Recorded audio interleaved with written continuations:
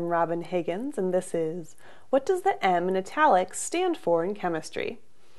All right, so this guy stands for molarity, which equals the number of moles over the number of liters.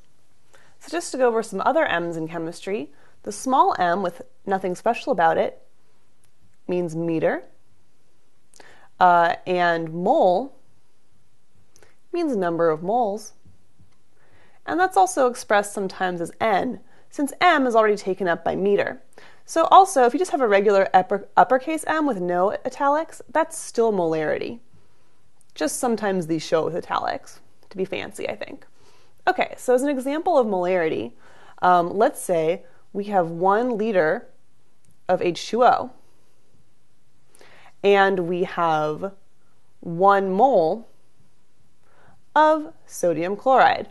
Then all I have to do is put one mole over one liter, and now we have it would be uh, described as one uh, molar. So that's how we could write our final answer.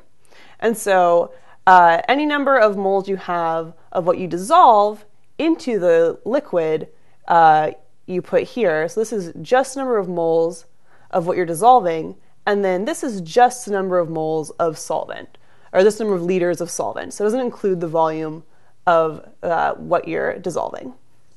I'm Robin Higgins, and this is What Does the M in Italics Mean in Chemistry?